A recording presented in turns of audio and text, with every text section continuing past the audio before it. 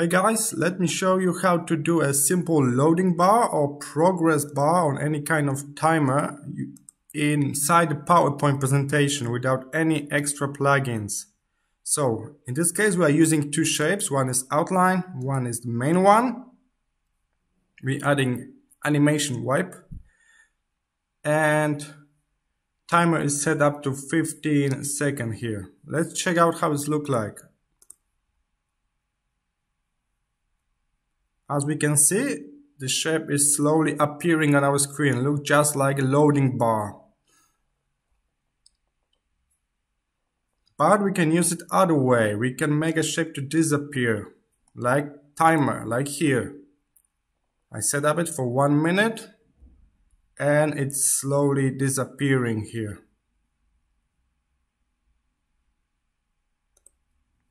Okay, Let's check from inside of PowerPoint. We got wipe effect.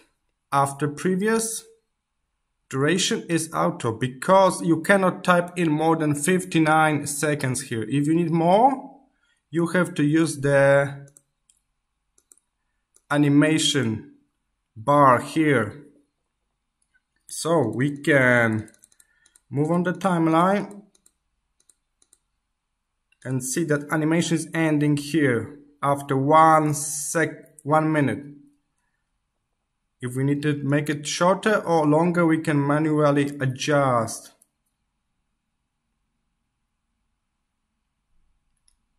Okay we got two minutes.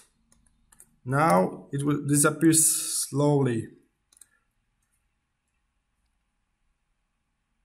Okay it's much slower as you can see so important thing to remember, you can only type in seconds here. So if your timer or your loading bar should be longer, animation will be longer than one minute, you have to use the animation panel here to drag the bar.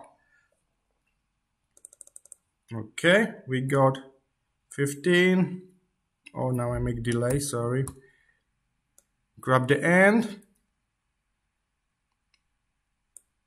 Here duration 44 but if you make 65 it will just set up 59 is the maximum.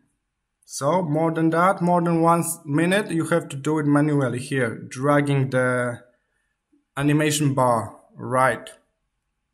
Okay guys you can download this file, link in description. Thanks.